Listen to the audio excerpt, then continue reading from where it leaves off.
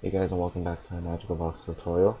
In this one I'll be showing you guys how to download, import, and use HDRIs to create scenes. HDRIs are basically skyboxes and serve to create realistic lighting quickly. Let's go ahead and get started. Let's say you finished your scene and you want to create more realistic lighting. You would just go to Google type in HDRI Haven. Should be the first uh, search selection. And you want to click on HDRIs. And then you have a vast uh, array selection to choose from. Um, you want to download the HDRI that best fits your scene. So for instance, in my office scene, I have light coming through a window and it looks to be around noon or maybe around 10 a.m. So I do not want to download something like this where it's cloudy or um, something that's night. You can always uh, so you can always sort it by category. So I could do skies, um, sun maybe, and take a look at the selection here. I think um, sunflowers looks pretty good, so I'm just going to click on that.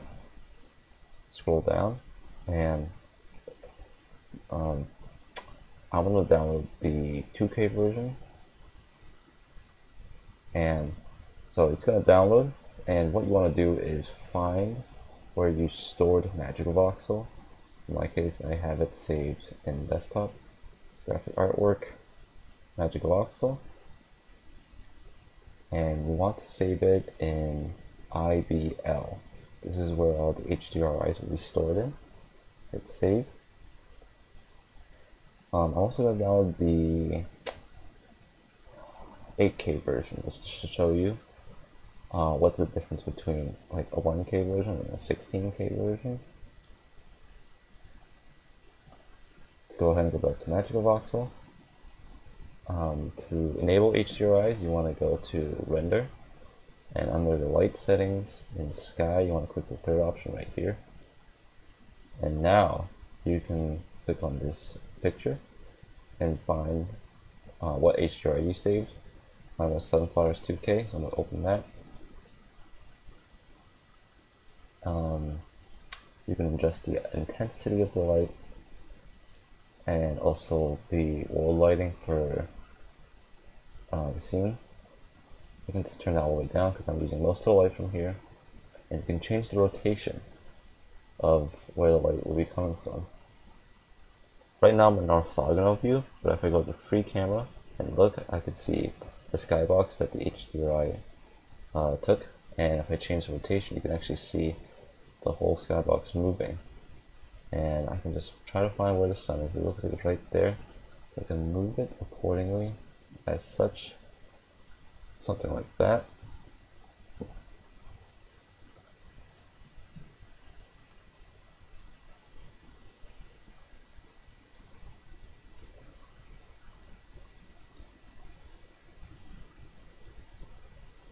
And increase the exposure. And actually, um, this is looking a bit off from the actual scene I have. So you could do two, one of two options. You can either um, go back to HDRI Haven and find a different image to save it. And in my case, I actually found something called Abandoned Tank Farm. And when I load that up, you can see it matches my scene more uh, clearly. And I can adjust the rotation like such. And um, let's say I'm happy with this. What you want to do next is make sure your bloom is enabled. That will give the uh, any light source or emission the pop it needs. For instance, like you can see here, giving it a nice pop. You can go into these three bars I want to turn on these settings right here. This will definitely slow down the render times, but make um, the scene look a lot nicer. and um, let's say the resolution of the, the image of the res the quality is not as uh, good as you find in high-res images. You can change these numbers right here where it um, has the image logo and it basically is like um, screens. So you can change it to 1440p by 720 resolution or for the highest settings it's uh, 2048 2048 this will take depending on the hardware you have quite some time and if you want to increase the sampling that will uh, make it less look less grainy but also increase the rendering times um, let me, I'm just to reduce the resolution back to the default settings and show you uh, the difference between the 2K resolution HDRI and the 16K we downloaded. Uh, right now, actually let me actually go to the one we downloaded. Right now you can see H the skybox is um, kind of low quality but if you go to the 8K version,